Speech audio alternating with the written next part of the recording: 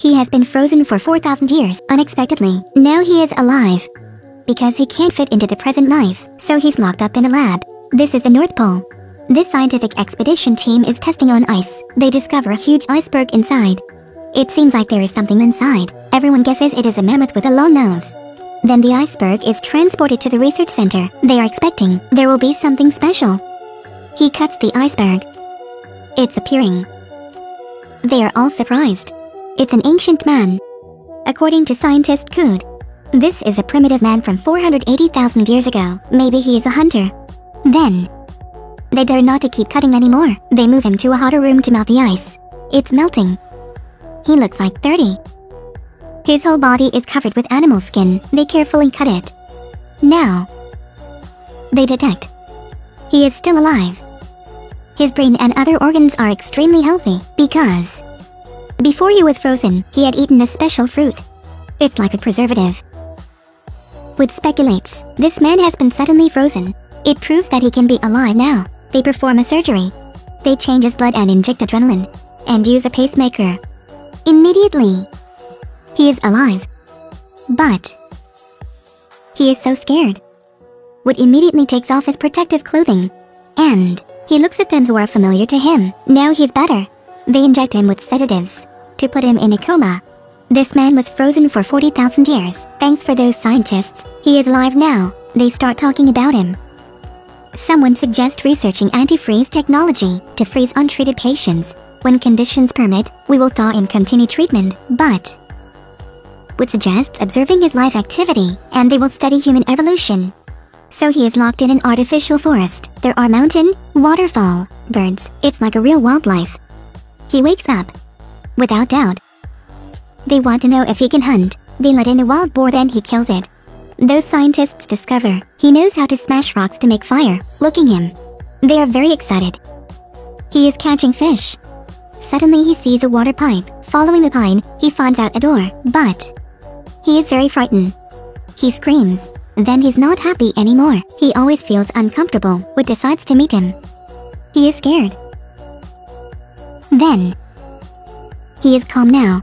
He touches Wood. He knows Wood is a man like him. They start talking. Wood knows his name is Chalu. But he doesn't understand other words. After many days of talking, Wood feels close to Chalu. He is very kind. But other scientists, they don't see Chalu as a human. They collect a large amount of body tissue from him. For study, Chalu sees his scars. He realizes he is just a test subject. He begs Wood to kill him. After 40,000 years frozen, this is the first time he has seen a woman. Then, he has a silly behavior. Wood warns him. She is mine. Chalu stops. But, Chalu misses his wife. He draws a person. His wife's name is Ipapa, and his son is Tiramisu. Chalu introduces about his family. He wants to know where they are. It's so cool. Chalu. He doesn't know that he is the loneliest person in this world. There is a helicopter. Chalu is terribly scared. He climbs on the highest mountain and shouts Beata. A person from Eskimo tells Wood.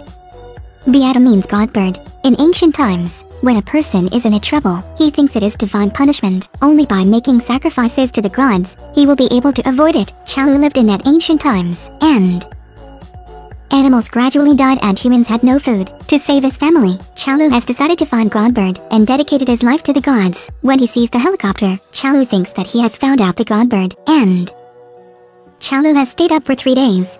He always mutters a word. It looks like he's doing some kind of ritual. When Wood comes, Wood says Chalu is so weak. It looks like he wants to say something. Chalu begs Wood to help him find out Godbird. It's Chalu's hope. It's his dream in 40,000 years.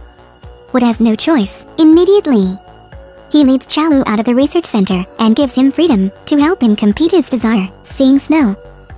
Chalu is so happy. Wood can't catch up with Chalu anymore. Even after hearing the terrifying sound of an iceberg breaking, Chalu doesn't look back. He keeps going hopefully. To fulfill his mission. Finally Chalu sees his godbird. He jumps. And grabs it. It pulls him into the sky. This man wants help Chalu, but Chalu smiles and lets it go. He is singing an Eskimo song. He just wants to dedicate himself to the god bird and to his beliefs. Then his wife and his son will be saved. His tribe is also saved. He has waited for it for 40,000 years. The end. I want to ask you a question. Do you know who plays this primitive man?